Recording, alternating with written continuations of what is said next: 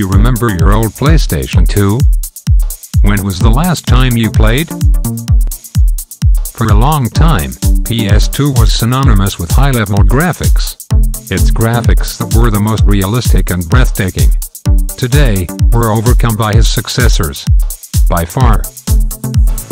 Sony PlayStation 2 will be the biggest thing to come along since TV was invented. But today, we will see machines with unbelievable achievements, with much less CPU than your old console. Check some important machines which less CPU than your old PS2. First, let's talk about some specifications of our PS2. The PlayStation 2 was released on March 4, 2000, and it's currently the best-selling video game console in history selling over 155 million units, with 150 million confirmed by Sony in 2011.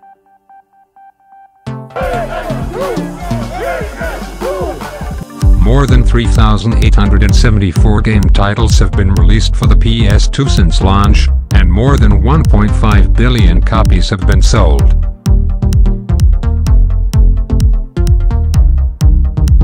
Now about the system. Emotion Engine, clocked at 294 MHz at the time of its release, and 299 MHz on newer models. Graphics Synthesizer, clocked at 137 MHz. 4 megabytes of EDRAM, or Dynamic Random Access Memory. Keep that value in mind, it will be used as comparison. CPU clocked at 299 MHz. Only few years before PlayStation 2, one of the most relevant and valuable company has started. We are talking about Google.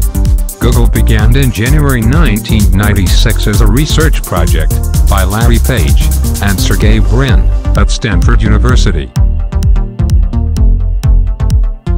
It was based in the garage of a friend in Menlo Park, California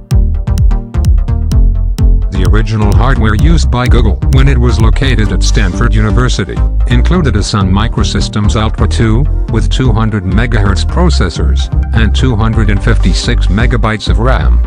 This was the main machine for the original Backrub system. In fact, Google hardware includes besides that main machine, some Intel and IBM computers, donated by their respective brands. But it's still funny to remember all the Google hardware and server was developed and ran controlled by a machine with less CPU than your old PS2. Five years before PS2 release, Toy Story made his mark in history as the first fully 3D feature film. The polygons shading lighting and visual effects used 300 computer processors to render the film to its final design. Each completed shot was rendered on a render farm of 117 Sun Microsystems computers, running 24 hours a day. Finished animation emerged, in a steady drip of around 3 minutes a week. Depending on its complexity, each frame took from 35 minutes, up to 30 hours to render. According to IMDb, Toy Story render farm consisting of SPARCstation 20 CPUs.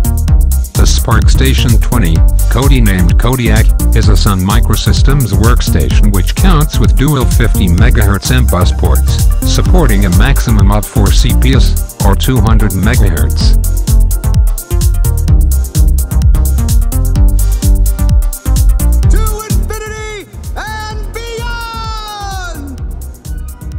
Everybody's going to notice and talk about the fact that this is the very first computer animated feature film.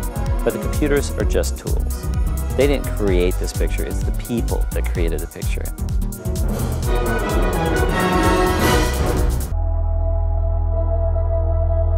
This list from now will give some bigger steps. You will understand.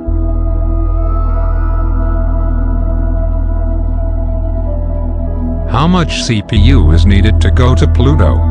The answer is in your old PlayStation 1. The CPU from the original Sony video game console was used in NASA's New Horizons space probe and reached Pluto in 2015. The R3000 CPU was repurposed in 2006 by the Space Agency to fire thrusters, monitor sensors, and transmit data. Now it's traveled 3.6 billion miles through space. The New Horizons spacecraft has come closer to Pluto than we've ever been before, and it turns out the little planet is actually a pretty fascinating place. And all with the same CPU than your old PS1. Listen, we aren't talk about a similar CPU. For the first time on this list, thought's the same hardware.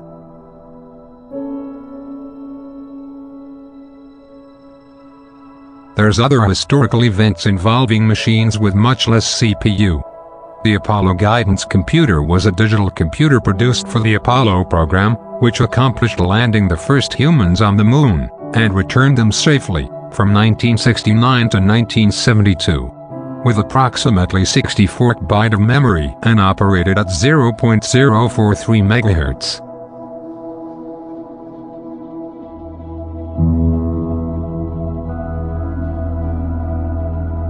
Another important machine in the history of mankind was the probe sent to Mars. Throughout history, mankind has sent some probes and rovers, with autonomy to analyze data from the red planet, and sent them to Earth, millions of kilometers away.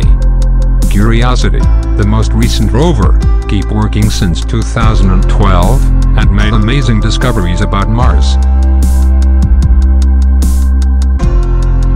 If you could combine up the CPU of all rovers that have been sent to Mars, it would still be less than the CPU of a PlayStation 2. Not one, or two. But all combined.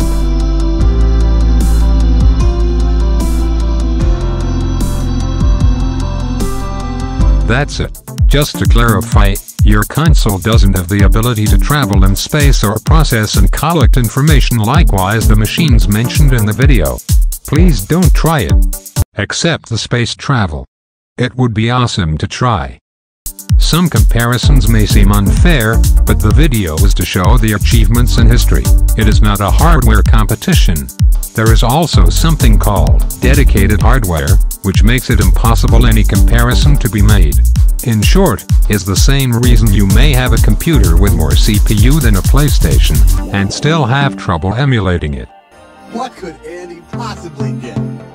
Worse than you. PlayStation 2. PlayStation. PlayStation 2, the newest, fastest video game system. If you have some info to add on the list, feel free to leave in comments. The interaction is the key for bringing more information for the next videos. Don't forget to subscribe for more videos like this, and check our links. See you on the next video. Bye.